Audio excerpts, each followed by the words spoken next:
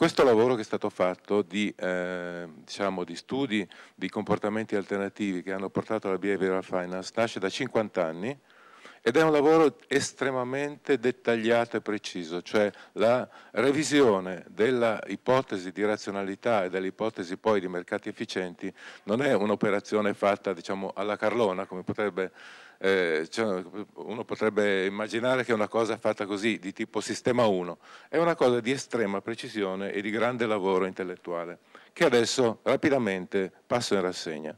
Dunque innanzitutto eh, non, non, mm, non credo che sia sensato leggere queste cose perché naturalmente ci metteremo delle ore. Io eh, le scorro e poi mi fermo su due o tre punti.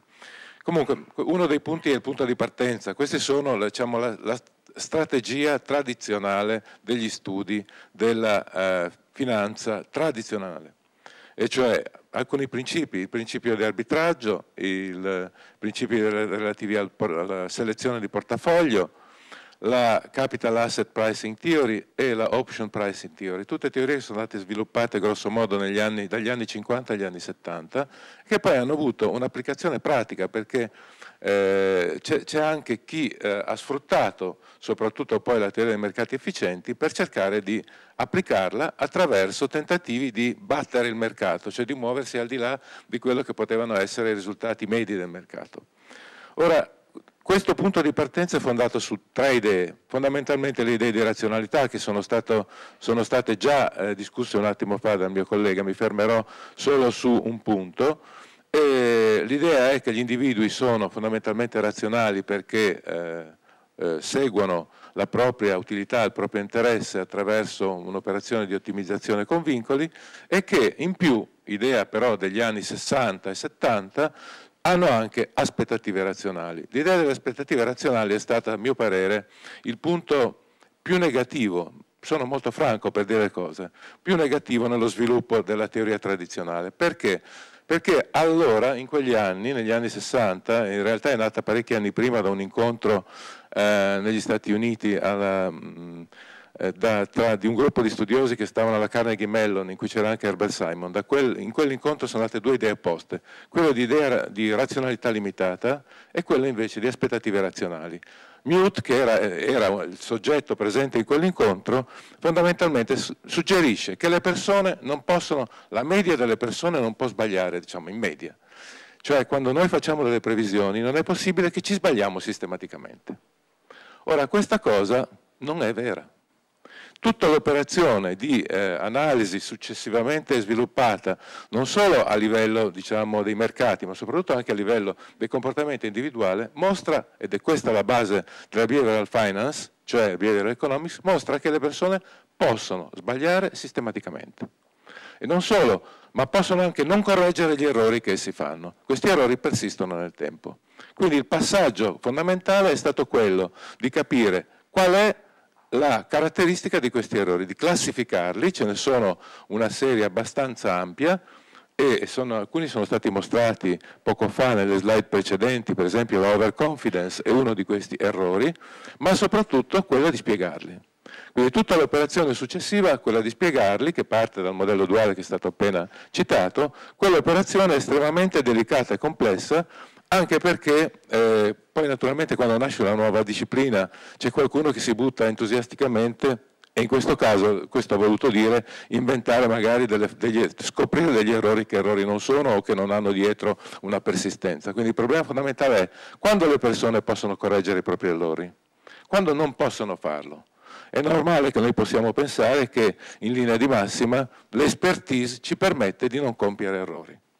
E eh, il punto chiave nello studio di Kahneman e Tversky che hanno fatto partire gran parte di questo processo è rendersi conto che anche gli esperti sbagliano in certi contesti. Quindi ci sono errori che possono essere facilmente corretti per motivi legati a questi due sistemi che abbiamo detto e altri errori che comunque non possono essere facilmente corretti per un motivo molto semplice, perché il trasferimento di competenze, io sono esperto in un certo particolare campo nel quale non faccio errori, in un altro campo vicino nel quale essendo novizio faccio errori, è un processo estremamente lento e difficile da realizzare. Non è che io riesco ad applicare immediatamente conoscenze da un campo a un altro e quindi è eh, estremamente lungo il lavoro di correzione di questi errori. Ma c'è ancora di peggio, e cioè siamo sicuri che alcuni siano veramente errori? Vengo a questo problema perché mi pare un problema piuttosto divertente. Ora, eh, ricordo che diciamo, il punto diciamo, più importante della teoria tradizionale è stato appunto la efficient market hypothesis. Questa è l'ipotesi appunto di cui legata a questa idea che stavo dicendo in questo momento, cioè che fondamentalmente il mercato non, eh, i prezzi sul mercato sono giusti, sono corretti, cioè sono sostanzialmente i, i prezzi fondamentali, che i prezzi fondamentali vengono immediatamente corretti quando c'è un errore di mercato attraverso processi di eh, intervento sul mercato degli operatori. Ora, eh, l'idea è questa, se i mercati non fossero efficienti ci sarebbe comunque un'opportunità di profitto che non è, non è, sfruttata, qualcuno capirebbe che c'è questa opportunità di profitto, si lancerebbe su questa cosa e quindi i traders razionali si accorgerebbero che devono vendere o comprare dei, delle, delle, dei titoli proprio perché c'è una possibilità di fare guadagno dato che questi sono sovrapprezzati o sottoprezzati. Ora, l'idea di fama implica che eh, quindi il mercato, diciamo, l'idea del mercato efficiente implica che questo riaggiustamento avviene in modo estremamente veloce, appunto perché le aspettative sono razionali, quindi le persone sono in grado immediatamente di usare in modo totale e completo l'informazione a disposizione. Ora, eh, così stando le cose, i mercati eh, dovrebbero avere un andamento random walk, cioè un andamento a passeggiata casuale. Quindi tutto il meccanismo è abbastanza, abbastanza semplice e chiaro. Le persone sono razionali, sono capaci di cogliere i, le, i, misallineamenti di mercato, agiscono nel modo giusto riportando i prezzi nella direzione corretta, lo fanno rapidamente e questo implica che i mercati devono avere un andamento di tipo random walk. Si può dimostrare che non è vero, partendo per esempio dal punto di vista eh, diciamo, dell'andamento dei mercati, che l'andamento è random walk, che ciò non è vero, e quindi cominciare a far vedere che c'è qualcosa che non funziona in questo tipo di struttura analitica, è molto difficile farlo.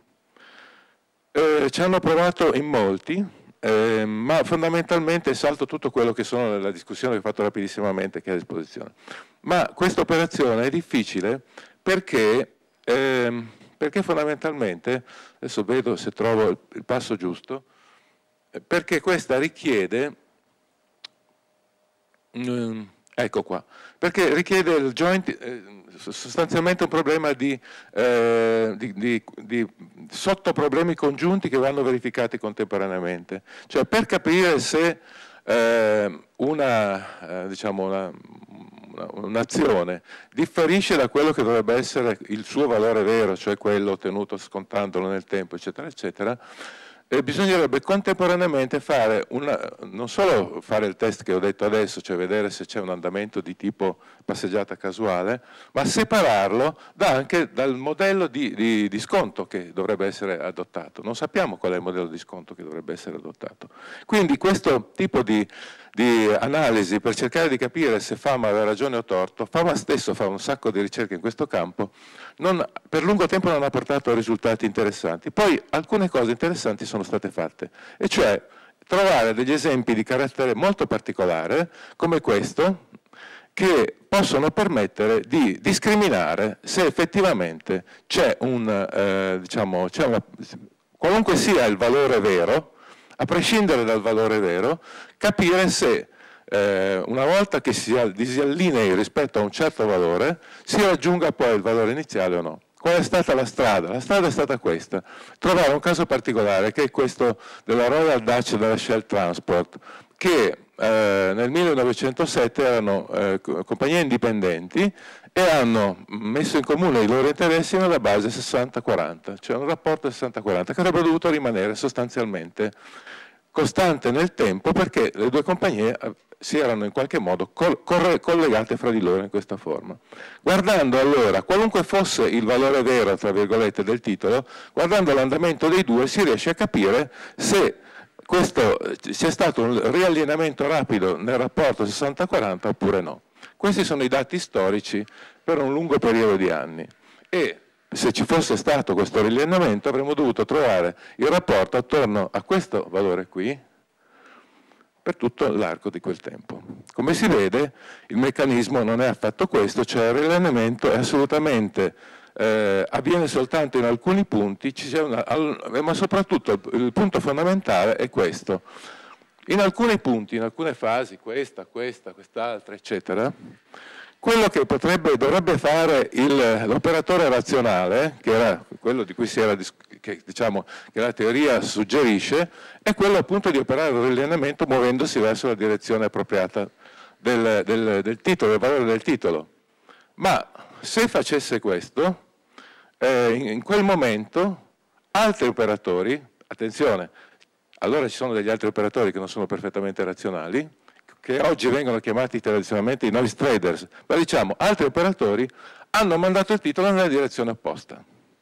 Allora l'operazione di riallineamento non è più un'operazione senza rischio, di vantaggio senza rischi, ma un'operazione invece che può portare nel breve periodo, sarà pure un breve periodo, ma possono essere anche mesi e mesi, e può essere anche in certi casi lì sono anche un anno, può portare a una perdita consistente. Il problema quindi è un meccanismo di questo genere, cioè il vecchio meccanismo di arbitraggio, non è un meccanismo che possa essere pensato come un meccanismo senza rischio e senza costi.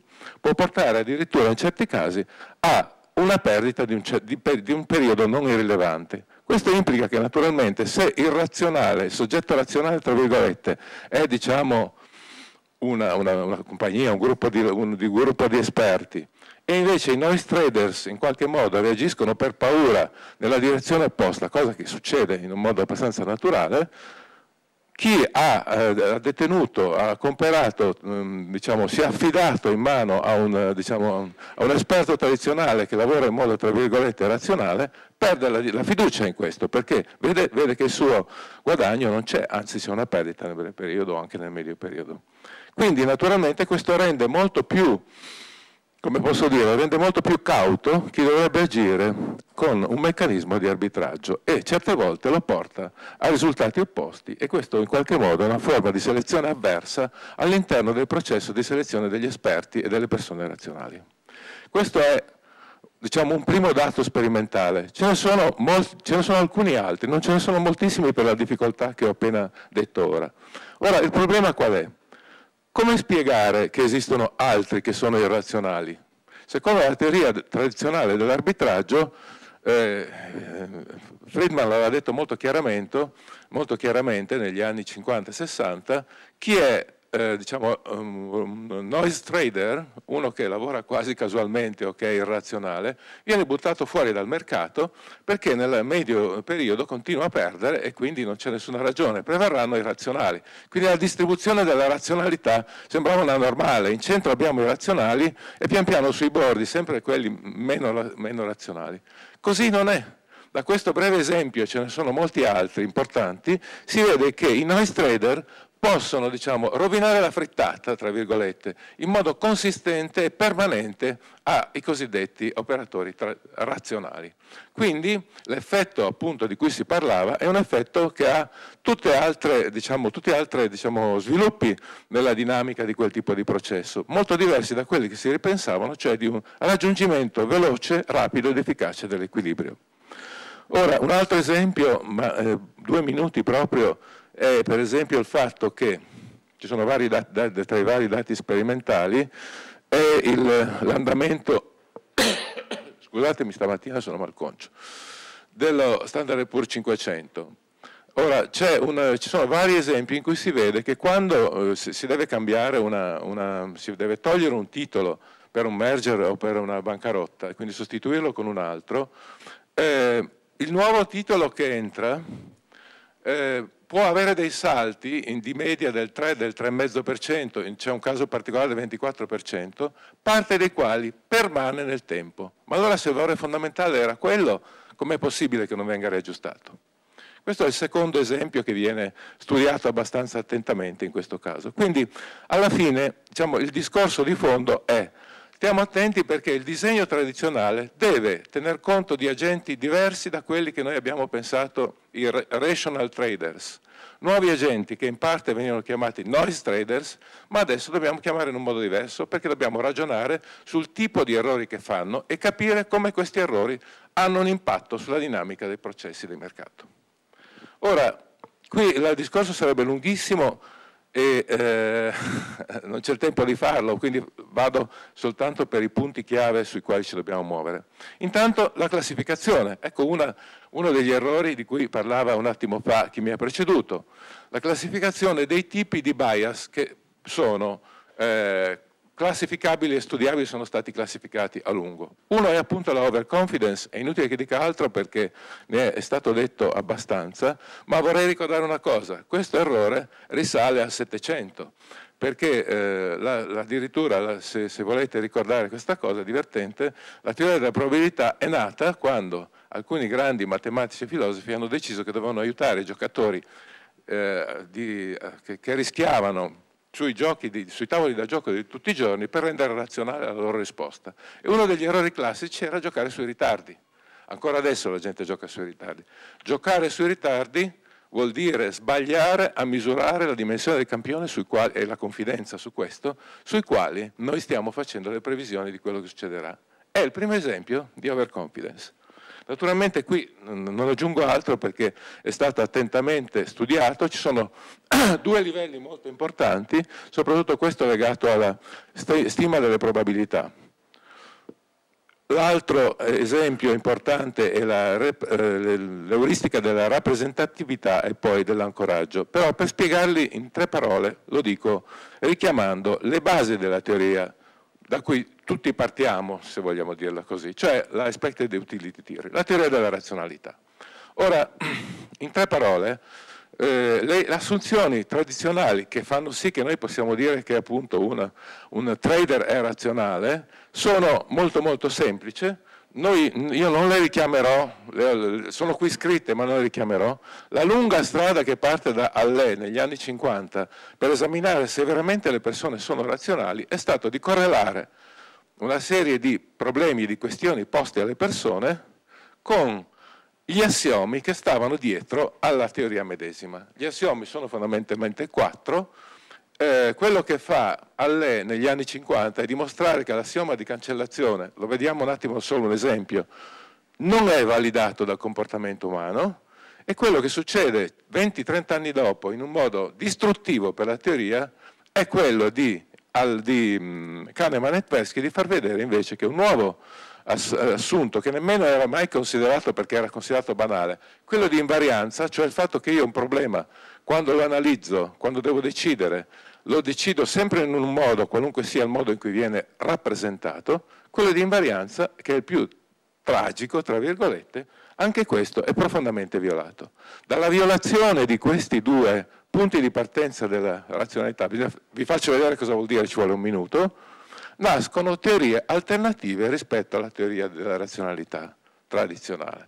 E di queste tre teorie alternative abbiamo tutto un lungo sviluppo che dura vent'anni, ci sono almeno 7-8 teorie importanti, nessuna di queste è riuscita a sostituire quella tradizionale, tranne oggi forse quella di Kahneman e Tversky, perché dietro ha tutto un altro modo di affrontare il problema. Ancora qualche minuto.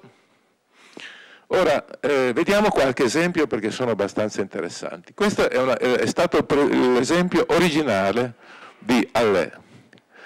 Perdeteci due minuti con me voi dovete dire se preferite la certezza di ricevere 100 milioni di franchi, non è, non è poi così grande, ma comunque 100 milioni di franchi, oppure 10% di scelta di vincere 50 milioni, 500 milioni, 89% di vincerne 100 e 1% di non vincere niente.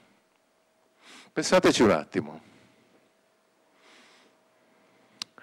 L'altra questione, altro problema che vi pongo è un altro diverso. C'è un'alternativa tra 11% di vincere 100 milioni e 89% di non vincere niente, oppure un pochino diversa, 10% di vincere molto di più, 500 e 90% di non vincere niente. Sembra una cosa banale. per tanti anni gli esercizi di chi fa la teoria dell'utilità hanno, hanno, ammazzato i poveri studenti. Questo però è un'idea geniale perché cosa, cosa, contiene questo doppio problema? Contiene un, una trappola. Se voi preferite A a B, dovete preferire C a D.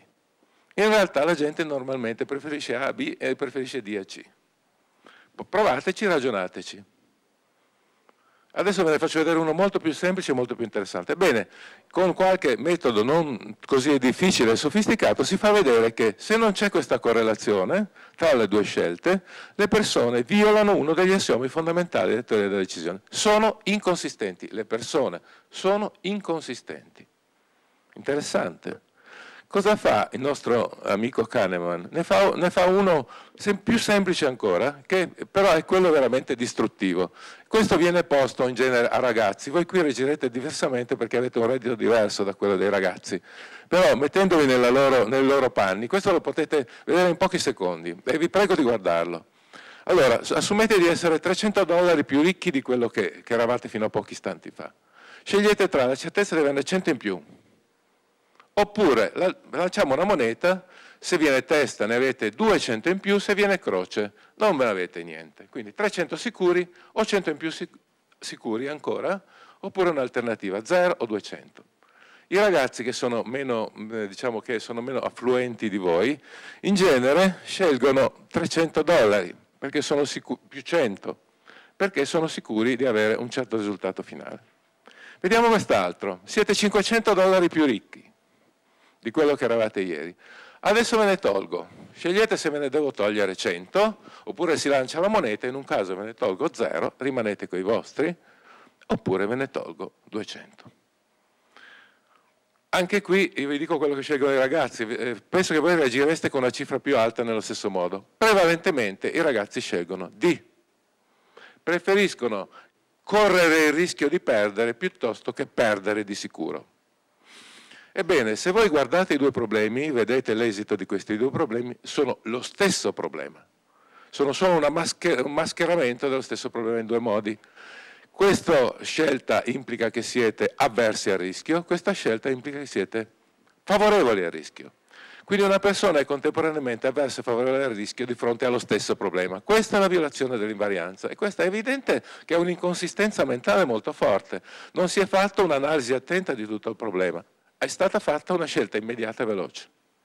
Bene, allora evidentemente a partire da qui nascono un'enorme quantità di studi che eh, in un minuto non riesco a raccontarvi, in un minuto e mezzo non riesco a raccontarvi, che fondamentalmente approfondiscono le, i meccanismi mentali che stanno dietro questo tipo di scelta e di questo tipo di problema e, eh, e delle, in particolare nasce una nuova teoria che si chiama Prospect Theory e che fa un'analisi dettagliatissima di come reagiscono le persone di fronte a problemi di probabilità. Per esempio, eh, cifre molto, molto, eh, con molta probabilità molto bassa, le persone in genere sono favorevoli al rischio perché preferisco buttare via mille lire, per, mille, un, un, euro, dieci euro per comprarmi il biglietto da lotteria, sono favorevole al rischio, e quindi eh, mi comporto in un certo modo, spostandomi di molto poco divento di colpo contrario al rischio, poi divento favorevole, secondo un andamento che è stato studiato estremamente in modo dettagliato.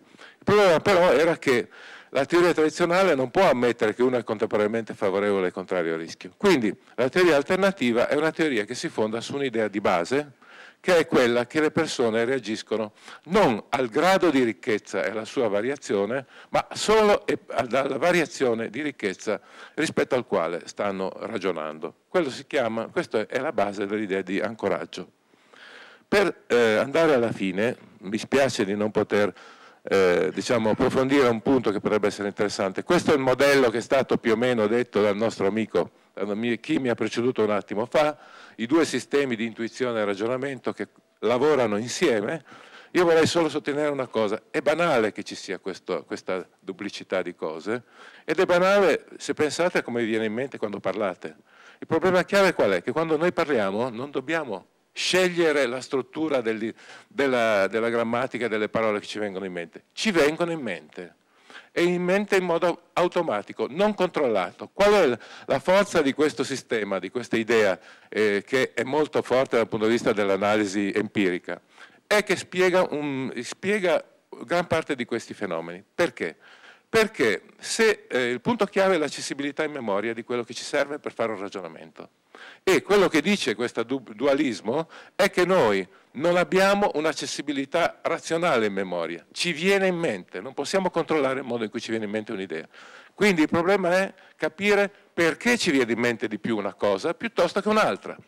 E su questo c'è una quantità di studi molto bella ed interessante.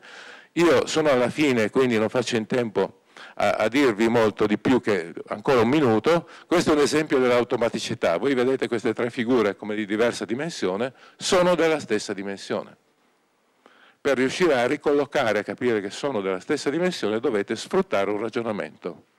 Perché lo sono? Perché avete in mente un meccanismo, quello di confrontare la figura con il suo sfondo, che viene dal Medioevo. Se voi andate nel popolo Yanoami e gli fate vedere quelle tre figure, i, loro non interpretano questo disegno come una proiezione di dimensione, ma come una cosa piatta e quindi valutano questi tre come di uguale dimensione. Voi guardando quel disegno applicate automaticamente un meccanismo che vi forza a correlare lo sfondo con questo, vedendo lo sfondo come se fosse bidimensionale, tridimensionale, chiedo scusa. Allora, questo è, questo è un problema di automatismo ed è un automatismo storico che è venuto attraverso eh, semplicemente l'abitudine a guardare i quadri, eh, a costruire eh, quella che noi chiamiamo la prospettiva. È una, una, questione quindi che non ha a che fare necessariamente con la biologia, ma che può avere a che fare con le norme e le tradizioni. Concludo. Ci sarebbe l'ultima parte, che era quella che veramente avrei voluto discutere con voi, che è quella appunto di dove vengono i meccanismi che fanno sì che emerge dalla nostra memoria più facilmente qualche cosa piuttosto che qualche cos'altro.